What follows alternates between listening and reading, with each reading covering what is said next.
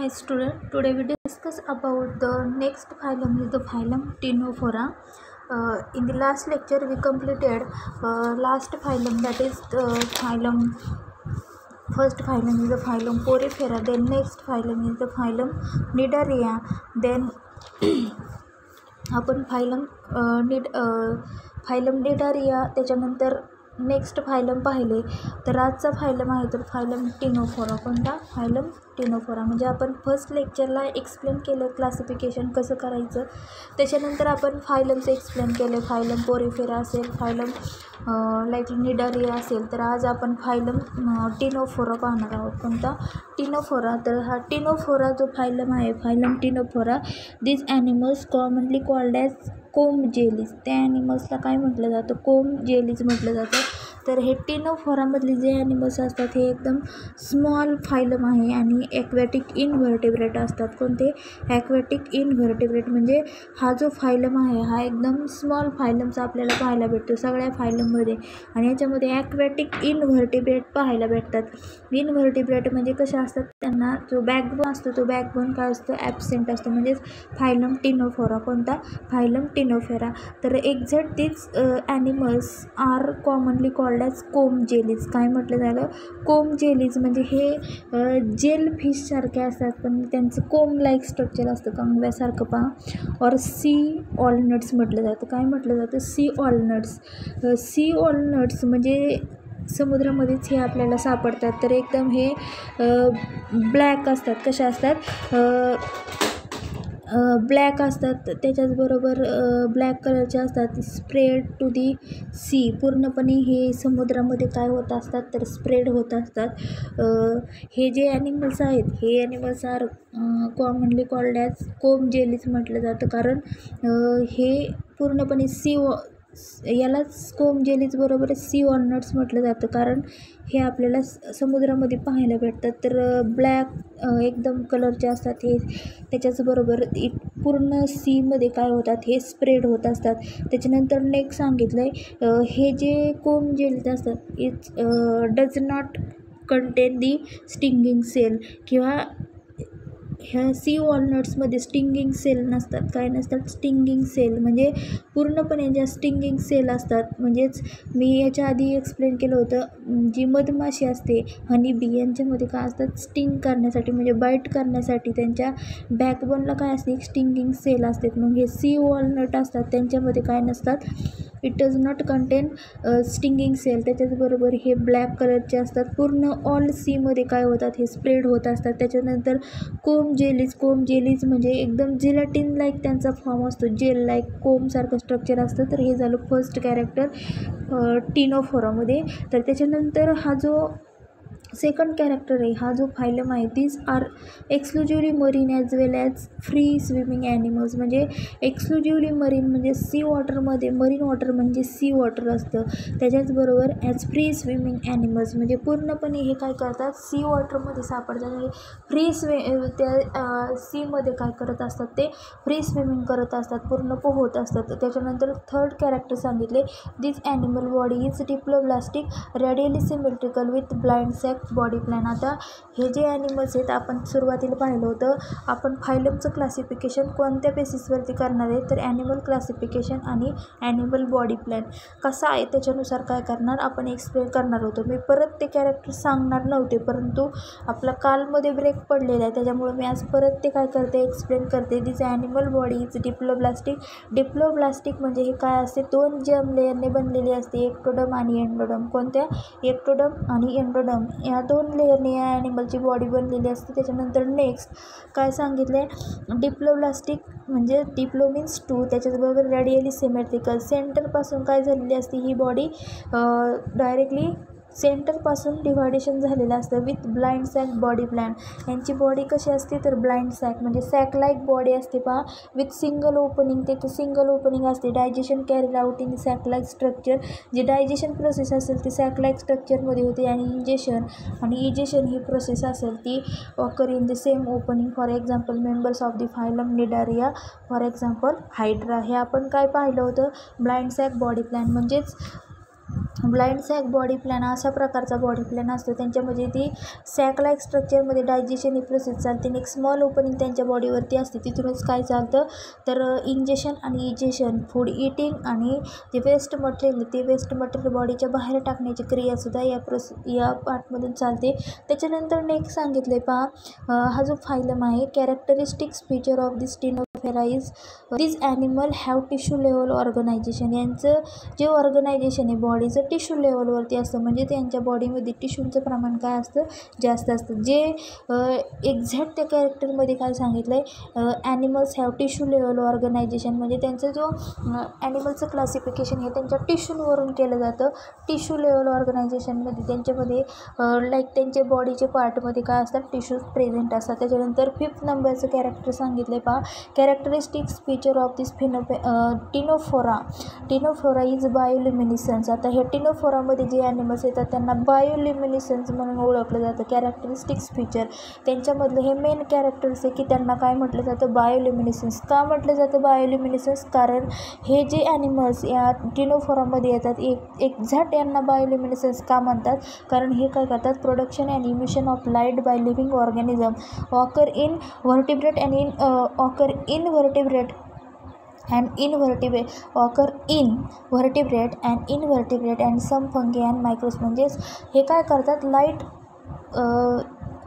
production and emission of light म्हणजे यांच्या बॉडीमधून light emit केली जाते. इमिशन म्हणजेच प्रोड्यूस केली जाते. म्हणजे फॉर एक्झाम्पल जर काजवा आपण पाहिलेला असेल त्याला म्हटलं जातं बायोल्युमिनिसन्स बायोल्युमिनिसन्स म्हणजे हे लाइट इमिट करतात बॉडीच्या बाहेर लाइट टाकतात by living organism occur in vertebrate and invertebrate म्हणजेच ज्यांना बॅकबोन असतो आणि ज्यांना बॅकबोन नसतो अशांमध्ये सुद्धा हे पाहायला भेटतं. त्याच्याचबरोबर फंगे असेल वेगवेगळ्या प्रकारचे मायक्रो ऑर्गॅनिझम असेल त्यांच्यामध्ये आपल्याला हे बायोलिमिसेस बायोल्युमिनिसन्स ही प्रोसेस होत असताना दिसते. म्हणजेच स्टिनोफोरा ॲनिमल्समध्ये सुद्धा लाइट इमिशनची प्रक्रिया चालते म्हणून यांना म्हटलं जातं. बायोलिमिनिसन्स त्यां सिक्स नंबरचं कॅरेक्टर सांगितलं आहे हे जे निडारियन्स आहेत निडारियन्स म्हणजेच स्टिनोफोरामध्ये जे निडारियन्स येतात cnidarians ctenophores also exhibit extra intracellular digestion म्हणजे जे डायजेशन होतं फूड ब्रेकडाऊन होतं हे आतल्या साईडने पण होऊ शकतं आणि बॉडीच्या बाहेरच्या साईडने पण होऊ शकतं. इंट्रा आणि एक्स्ट्रा एक्स्ट्रा एक्स्ट्रा म्हणजे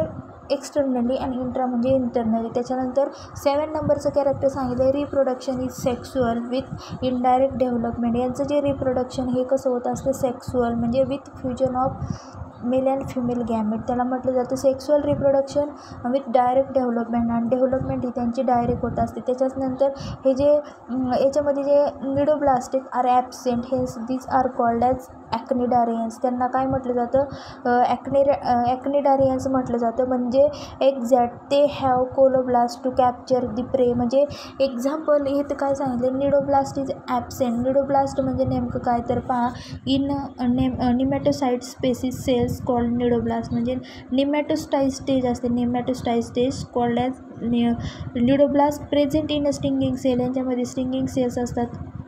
Organs this help to hold the prey म्हणजे यांच्यामध्ये निडोब्लास हे काय असतात? ॲबसेंट असतात. निडोब्लास म्हणजे नेमकं काय? नेमॅटोसाईटची स्पेसीज ही निडोब्लास्ट म्हणजे called as cnidoblast and present in stinging cell म्हणजे हे स्टिंगिंग सेलमध्ये जी बाईट करण्यासाठी सेल्स असते त्याच्यामध्ये हे काय असतात?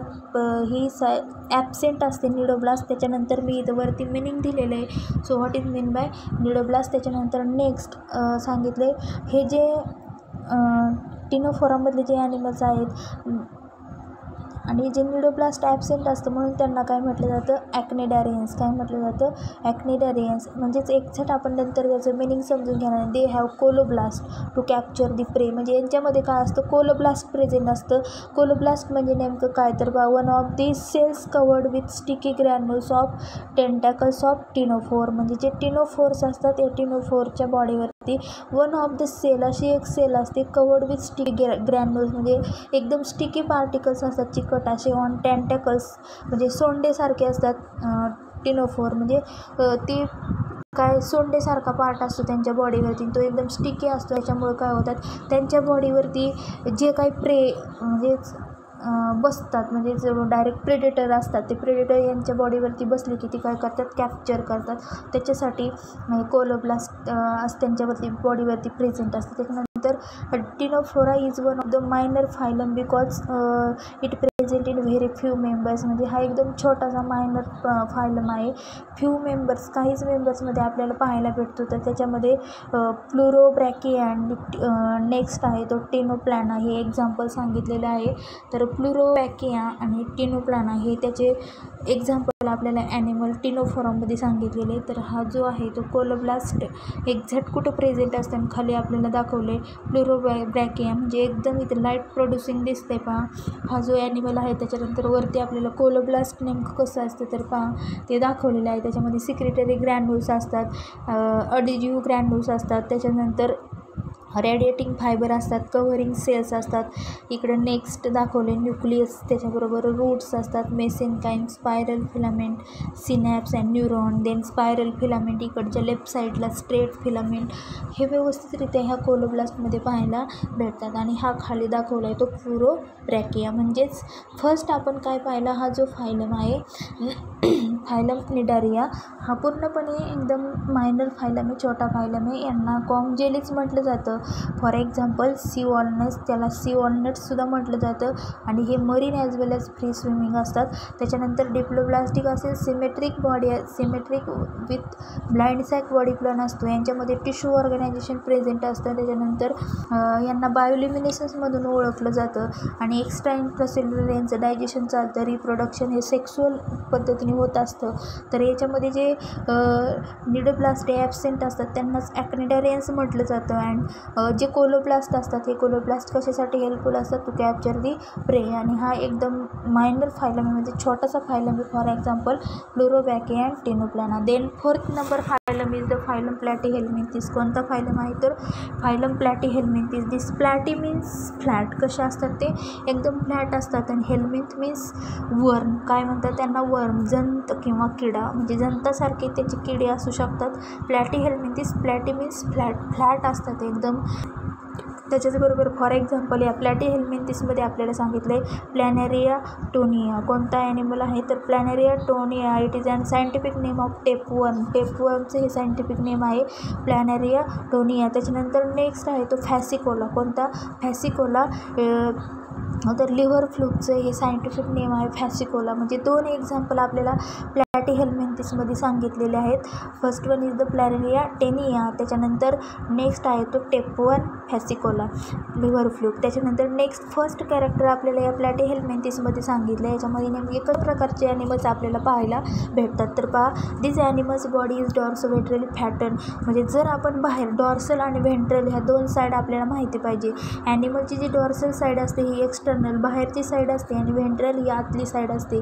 तिला म्हटलं जातं ventral this animal animal body is dorso ventrally flatten कशी असते? डॉर्सली फ्लॅटन असते एकदम फ्लॅट असते बाहेरच्या साईडने हे सार फ्लॉलेस फ्लॅटवर्म्स म्हणून त्यांच्या बॉडीला काय म्हटलं जातं? Flat means flat means flat म्हणजे फ्लॅटवर्म्स म्हटलं जातं. एकदम फ्लॅट असतात. डॉर्सली बाहेरून पाहिले तर एकदम सरळ असतात. त्यात त्याच्यानंतर सेकंड कॅरेक्टर सांगितलं these animal show organ system organ system grades of organisation that is acoelomate कोणत्या टाईपचे असतात? अ सिलोमेट त्यांची बॉडी कॅव्हिटी असते. म्हणजे बॉडी कॅव्हिटी त्यांच्यामध्ये काय असते? लॅक ऑफ बॉडी कॅव्हिटी असते. त्याच्याचबरोबर ट्रिप्लोप्लास्टिक आहेत. कसे इथे ट्रिप्लोप्लास्टिक म्हणजे तीन जर्म लेअरने यांची बॉडी बनलेली असते. That is ectoderm endoderm and mesoderm त्याच्यानंतर हे जे ॲनिमल्स आहेत they are mostly endoparasitic and few are free living हे कसे असतात? एंडो पॅरासायटिक एंडो आणि एक्टो याचं मिनिंग आपल्याला माहिती पाहिजे. Endo means live in inside the body endo means inside आणि एक्टो मीन्स आउटसाईड तर पॅरासाईट म्हणजे नेमकं काय? तर organism that lives in another organism for nourishment and protection. काही ऑर्गॅनिझम काय असतात? दुसऱ्याच्या बॉडीवरती राहत असतात. In another organism lives for nourishment and protection. स्वतःची नरिशमेंट भागवण्यासाठी आणि स्वतःला प्रोटेक्ट करण्यासाठी हे दुसऱ्याच्या बॉडीवरती राहतात. त्यांना पॅरासाईट म्हटलं जातं. तर हे जे ॲनिमल्स आहेत या फायलम प्लॅटिहेनमेंटिसमध्ये येणारे हे एंडो पॅरासायटिक असतात. म्हणजे हे बॉडीच्या आतमध्ये राहतात. Live in inside the body त्याच्यानंतर फी आर फी फ्यू आर फ्री लिव्हिंग काही पूर्णपणे हे जमिनीवरती पाण्यामध्ये आपल्याला पाहायला भेटतात. फ्री लिव्हिंग त्याच्यानंतर नेक्स्ट कॅरेक्टर फोर्थ नंबर सांगितले these animals are parasitic parasitic म्हणजे परजीवी असतात. दुसऱ्यावर अवलंबून असतात. They show the presence of hooks and suckers for attachment to the body of host म्हणजे हे जे पॅरासाईट असतात यांच्या यांची जर लेग्स आपण पाहिलं तर त्यांना हुक्स असतात म्हणजे आकड्यासारखं स्ट्रक्चर असतं त्याच्याचबरोबर सकर्स असतात. काय असतात? सकर्स सकर्स म्हणजे that help that helps an animal to stick to a surface म्हणजे सक म्हणजे सकस म्हणजे एकदम स्टिकी असतात की ते कोणत्याही ॲनिमलच्या बॉडीवरती बसले की ते काय होऊ शकतात? स्टिक टू सरफेस त्या स सरफेसला चिपटू शकतात. Of attachment of the body host म्हणजे हे ॲनिमल पॅरासाईट असतात. म्हणजे दुसऱ्याच्या बॉडीवरती अवलंबून असतात. परंतु यांच्या बॉडीमध्ये स्पेसिफिक असं कॅरेक्टर प्रेझेन्स असतं. त्यांच्या लेग्सवरती हुक्स लाईक स्ट्रक्चर असतं की जेणेकरून त्या ॲनिमलच्या बॉडीवरती बसल्यानंतर ते पॅक बसू शकतात. सकस त्यां ते स्टिक होऊ शकतात for attachment to the body of host त्याच्यानंतर फिफ्थ नंबरचं असं कॅरेक्टर सांगितलं आहे body of this parasite is covered by cuticle यांच्या बॉडीवरती काय असतं? क्युटिकल असतं. डॉर्सल साईडने बाहेरच्या क्युटिकल म्हणजे नेमकं काय? तर outer surface of on animal body it is tough आणि फ्लेक्झिबल एकदम टप एकदम टफ असतं. आणि फ्लेक्झिबल असं असतं and protect to the animal आणि ॲनिमलला प्रोटेक्ट करण्यासाठी बाहेरून हे काय असतं? हे कवरिंग हेल्पफुल असतं. त्याच्यानंतर नेक सांगितलं आहे पा और आणि ते कवरिंग केलेलं असतं. क्युटी क्युटिकल किंवा सिलिया सिलिया म्हणजे जसं पॅरामेसियममध्ये सिलिया असतात त्यासारख्या सिलियासुद्धा या ॲनिमलवरती प्रेझेंट असतात for the purpose of protection प्रोटेक्शनसाठी in free living forms तर सिलिया ह्या फ्री लिव्हिंग फॉर्म्समध्ये असतात. कोणामध्ये? जी सगळीकडे आपल्याला पाहायला मिळतात ॲनिमल्स प्लॅटी हेल्मेंथिसमधले त्यांच्या बॉडीवरती सिलियाला एक स्ट्रक्चर असतं. प्रोटेक्शनसाठी ते फ्री लिव्हिंग असतात. त्याच्यानंतर सिक्स नंबरचं कॅरेक्टर सांगितलं आहे इथे पॅरासाईट म्हणजे हे जे पॅरासाईट असतात डायजेस्टिव्ह सिस्टीम जनरली ॲबसेंट यांच्यामध्ये जी डायजेस्टिव्ह सिस्टीम असते ती ॲबसेंट असते. But in free living forms it is incomplete. Free living फॉर्ममध्ये ती कशी असते? इनकम्प्लीट असते. म्हणजे त्यांच्यामध्ये ब्लाइंड सॅक बॉड प्लॅन असतो. फ्री लिव्हिंग म्हणजे सगळीकडे आपल्याला पाहायला भेटतात. त्यांच्यामध्ये काय असते? डायजेस्टिव्ह सिस्टीम थोडीशी इनकम्प्लीट असते. त्यांना ब्लाइंड सॅक बॉडी प्लॅन म्हटलं जातं. म्हणजे saclike body with single opening digestion carried out this saclike structure आणि त्याच्यामध्येच इंजेशन आणि इजेशन ही प्रोसेस चालते. म्हणजेच डायजेस्टिव्ह सिस्टीम जनरली यांच्यामध्ये ॲबसेंट असते. परंतु जे फ्री लिव्हिंग असतं त्यांच्यामध्ये ही थोडीशी इनकम्प्लीट असते. त्याच्यानंतर नेक्स्ट कॅरेक्टर याच्यामध्ये सांगितलं पहा सेवन नंबरचं कॅरेक्टर सांगितले animal have flame cells and it helpful for excision and osmoregulation ह्या ॲनिमलमध्ये काय असतात? फ्लेम सेल असतात. काय असतात? Flame sale. फ्लेम सेल म्हणजे नेमकं काय? Function like kidney. किडनी किडनीवरती हे यांचं फंक्शन करतात. ते म्हणून वेस्ट मटेरियल थ्रू फिल्ट्रेशन. म्हणजे काय करतात? यांच्या बॉडीवरती फ्लेम सेल असतात. फ्लेम सेल कशासाठी हेल्पफुल असतात? तर हे किडनीवरती प्रेझेंट असतात आणि ह्या काय करतात? जे वेस्ट मटेरियल जे मटेरियल रॉ मटेरियल असेल जे मटेरियल त्यांच्या बॉडीमध्ये डायजेस्ट होत नसेल ते मटेरियल काय केलं जातं? वेस्ट मटेरियल म्हणून काय केलं जातं? Through the help of filtration ते बॉडीच्या बाहेर एक्सरेट केलं जातं. त्याला म्हटलं जातं flame cell and it helpful for excretion आणि ह्या फ्लेम सेल एक्सरेशन म्हणजेच वेस्ट मटेरियल बाहेर टाकण्याच्या क्रियेसाठी उपयोगी असतात. तसेच बरोबर ऑस्मो रेग्युलेशन करण्यासाठी osmoregulation it regulate the osmotic pressure of and organism म्हणजे ऑर्गॅनिझममधला ऑस्मॅटिक प्रेशर रेग्युलेट करण्याचं कामसुद्धा ह्या फ्लेम सेल करत असतात. म्हणजेच ऑस्मो रेग्युलेशन म्हणजे नेमकं काय करतात? ऑस्मॉटिक प्रेशर मेंटेन करतात. म्हणजेच एक्झॅक्ट ऑस्मॉटिक प्रेशर म्हणजे काय? It measure the tendency of water to move on solution one move one solution to another solution म्हणजे एका सोल्युशनकडून वॉटरची किती क्वांटिटी दुसऱ्या म्हणजेच एका पार्टकडून दुसऱ्या पार्टकडे ते वॉटरचं सोल्युशन किती क्वांटिटीमध्ये मूव्ह होतं याला म्हटलं जातं वॉट ऑस्मॉटिक प्रेशर म्हणजेच flame cell osmo regulation maintain करतात. म्हणजेच it regulate the osmotic pressure osmotic pressure म्हणजे नेमकं काय? It measure the tendency of water to move on to move one solution in to another solution. वॉटरची quantity measure करणं म्हणजे osmotic pressure असतं. त्याच्यानंतर next सांगितले पहा दीज ॲनिमल्स आर हर्मॅफॉर्डाईट कसे असतात ते? हर्मॅफॉर्डाईट एट नंबरचं कॅरेक्टर सांगितलं हे ॲनिमल्स हर्मॅफॉर्डाईट असतात. हर्मॅफॉर्डाईट म्हणजे ते असतात बायसेक्सुअल कसे असतात? Bisexual means animal having both male and female sex organ म्हणजे याच्यामध्ये जे ॲनिमल्स प्रेझेंट असतात हे हर्मॅफॉर्डाईट असतात. म्हणजे ते बायसेक्सुअल असतात. कसे असतात? बायसेक्सुअल बायटीज टू टू सेक्स ऑर्गन यांच्यामध्ये प्रेझेंट असतात लाईक मेल अँड फिमेल त्याच्यानंतर लास्ट नंबरचं कॅरेक्टर सांगितलं आहे नाईन नंबरचं self fertilization process is seen self fertilization process is seen in this parasite या पॅरासाईटमध्ये सेल्फ फर्टिलायझेशन म्हणजे हे स्वतःच फर्टिलाइज होत असतात पण त्याच्यानंतर काय सांगितलं आहे few have high power of regeneration to show polyembryony काहीमध्ये अशा पॉवर असते रिजनरेशनची म्हणजे त्यांच्यापासून काय करतात? ते रिजनरेट होतात. दुसरे आपल्यासारखे ॲनिमल्स तयार करतात. रिजनरेट होतात. त्याला म्हटलं जातं. And to show polyembryony polyembryony दाखवतात. म्हणजेच नेमकं काय? Polyembryony means two or more embryo form a single fertilize egg एका एगमध्ये किती असतात?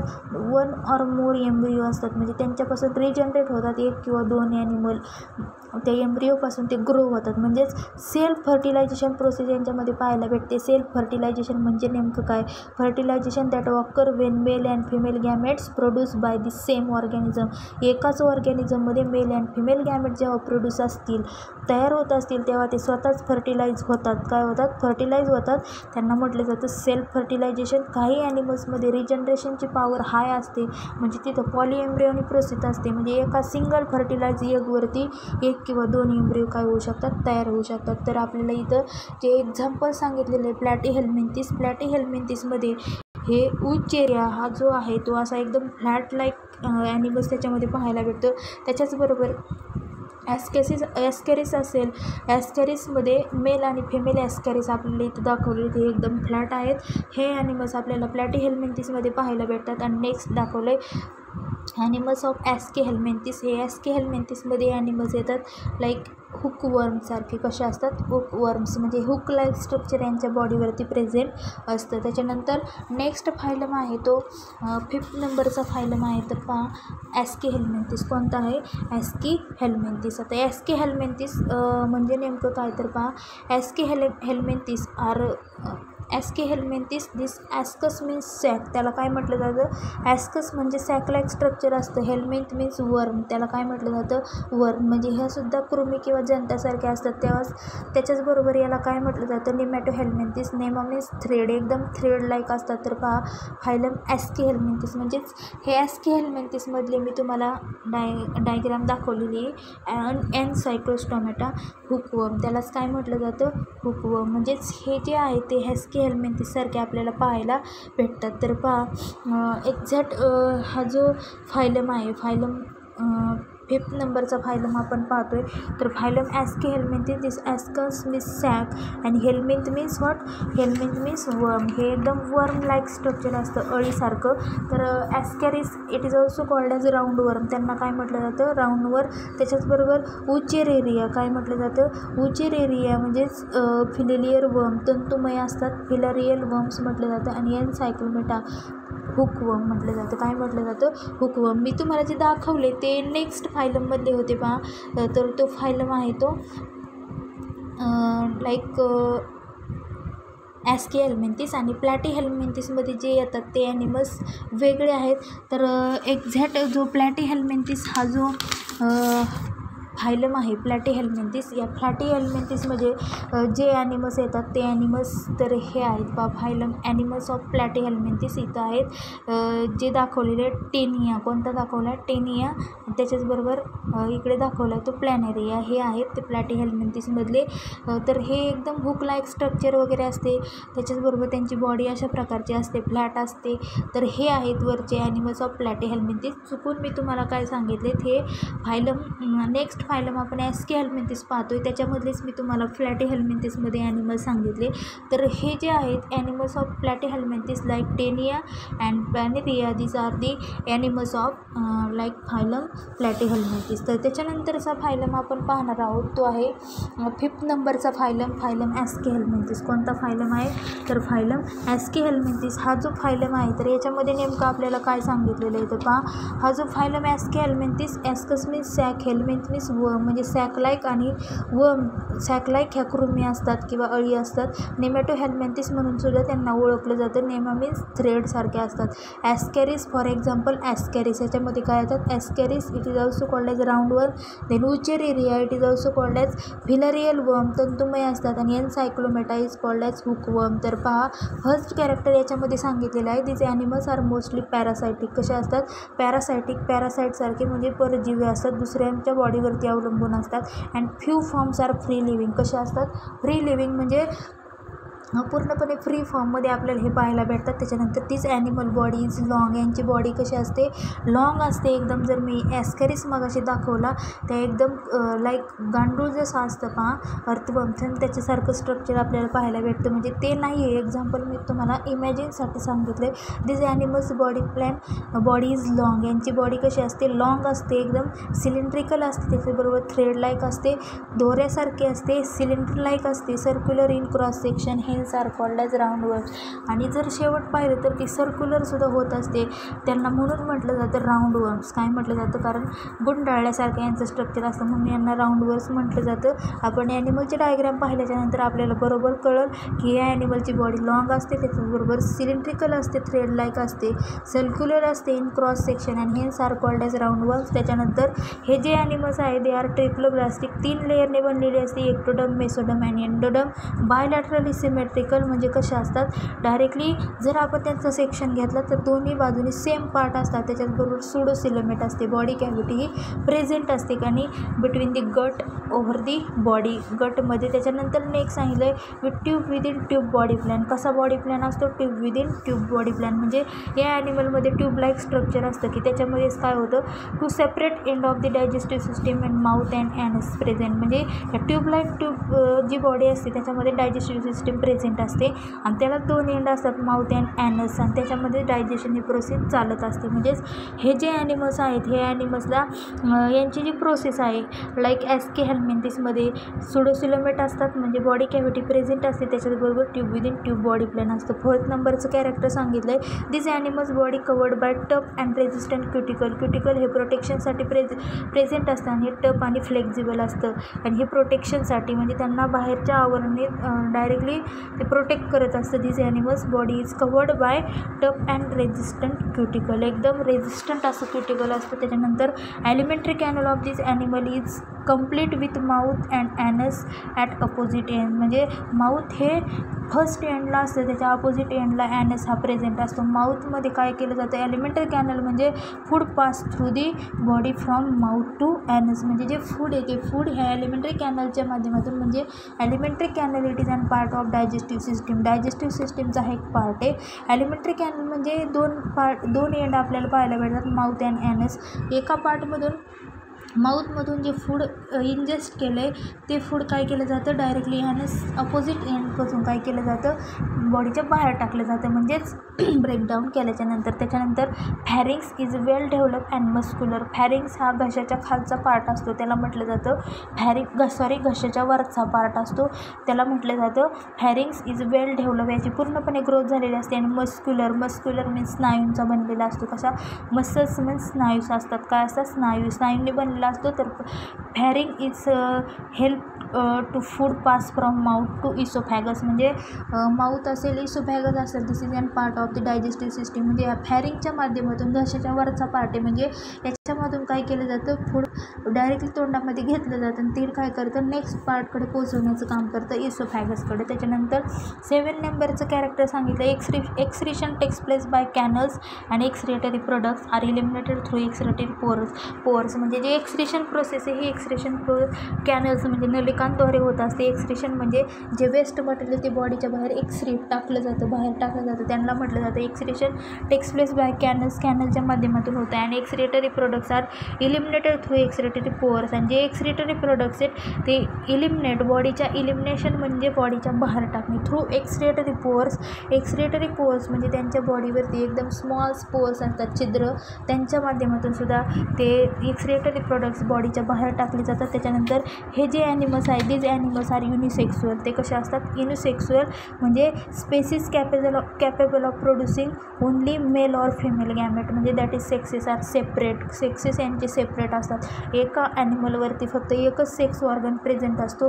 युनिमीन्स सिंगल काय म्हटलं जातं? सिंगल म्हणजे मेल किंवा फिमेलच यांच्या बॉडीमध्ये प्रेझेंट असू शकते. दॅट इज म्हणून यांना काय म्हटलं जातं? ते सेक्सेस आर सेपरेट काय म्हटलं जातं? सेक्सेस आर सेपरेट त्याच्यानंतर त्यानंतर यांच्यामध्ये जो ॲस्कॅरिस ॲनिमल आहे ॲस्कॅरिस शो सेक्सुअल डायमॉर्फिझम हे काय दाखवतात? सेक्सुअल डायमॉर्फिझम दाखवतात. म्हणजेच नेमकं काय दाखवतात? Like female is large and broader female जी आहे ती एकदम लार्ज असते मोठी असते ब्रॉड असते have straight posterior and male आणि पुढ पुढच्या साईडनी ही कशी असते? पोस्टेरियरली ही स्ट्रेट असते. And male is shorter narrower short असतो नॅरो असतो आणि has curved by posterior with pair of penial setae for copulation आता एक्झॅक्ट यांच्या बॉडीवरती काय असतात? पेनियल सिटी प्रेझेंट असतात. म्हणजे ब्रिस्ट लाईक स्ट्रक्चर असतं on segmented invertebrate such as Ascaris home bristle like म्हणजे एकदम त्या हेअर लाईक स्ट्रक्चर तिथं प्रेझेंट असतं. तर पहा ॲस्कॅरिसमध्ये सेक्सुअल डायमॉर्फिझम दाखवतं. म्हणजे लाईक फिमेल सेक्सुअल डायमॉर्फिझम म्हणजे two sexes of same species यांच्यामध्ये काय दाखवतात? Two sexes of same species म्हणजेच डायमॉर्फिझम म्हटलं जातं यांना. हर्मॅफ्रॉडाईट म्हटलं जातं. दोन सेक्सेस एकाच याच्यावरती आपल्याला पाहायला भेटतात. Two sexes of same same species exhibit different characteristic म्हणजेच two sexes of same species म्हणजे एकाच स्पेसिसचे दोन काय आहेत? स्पेसेस आहे म्हणजे एस्केरिस हे एकच स्पेसेस आहे परंतु याच्यावरती काय दाखवतात? दोन sexes two sexes of same species exhibit different characteristics हे काय दाखवतात? वेगळे कॅरेक्टरिस्टिक दाखवतात. मेलवरती वेगळा पार्ट फिमेलवरती वेगळा पार्ट त्याला म्हटलं जातं सेक्सुअल डायमॉर्फिझम तर sexual dimorphism it is a large एकदम लार्ज असतं त्याच्याचबरोबर बॉ ब्रॉड असतं आणि हॅव स्ट्रेट पोस्टेरियर एकदम पोस्टेरियर साईडने स्ट्रेट असतं आणि मेल ही शॉर्ट असते फि फिमेलपेक्षा त्याच्यानंतर नॅरो असते has curved by posterior bend post पुढच्या साईडला पेनियल सिटी असतात for copulation copulation at the time of sexual intercourse यांच्यामध्ये पेनियल सिटी प्रेझेंट असतात. म्हणजे ब्रिस्ट लाईक स्ट्रक्चर त्यांच्या सेगमेंटवरती प्रेझेंट असतं. Invertebrate such as Ascaris worm त्याच्यानंतर नेक्स्ट कॅरेक्टर सांगितलं आहे फर्टिलायझेशन इज इंटरनल फर्टिलायझेशन हे आतल्या साईडने होत असतं. इंटरनली बॉडीच्या आतमध्ये develop may or may not include in larval stage म्हणजे यांच्यामध्ये लार्वल स्टेज म्हणजे एक नंतर डायरेक्ट लार्वा तयार होती अळीसारखं ही तयार होऊ शकते किंवा होऊ शकत नाही. म्हणजे फर्टिलायझेशन जरी इंटरनल झालं it develop may or may not include in larval stage larval stage तयार होऊ शकते किंवा तयार होऊ शकत नाही आहे आपण आज तीन फायलम पाहिलेले आहेत. That is first phylum is the phylum Ctenophora second फ म्हणजे third phylum is the phylum Ctenophora fourth phylum is the phylum Platyhelminthes and last phylum is the phylum Aschelminthes तर ॲस्की हेल्मेंथिसमधले मी मगाशीच तुम्हाला जे डायग्राम दाखवलेला आहे त्या ॲनिमलच्या उचेरी एरिया असेल आणि फिमेल आणि मेल फिमेल ही लार्ज आहे आणि मेल हा शॉर्ट आहे. आणि in सायक्लोस्नॉमेथा that is hookworm so today we stop here remaining phylum we see next lecture